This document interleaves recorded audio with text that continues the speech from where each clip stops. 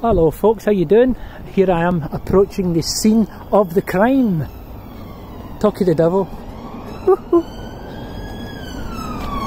oh, there's the police.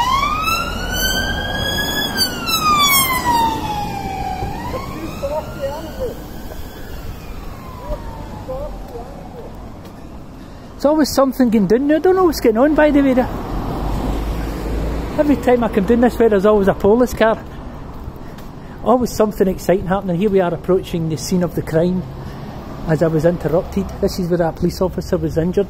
Hopefully the guy's okay, you know, because he might have children and a wife, you know. You know, the guy was only doing his job. He was injured right there.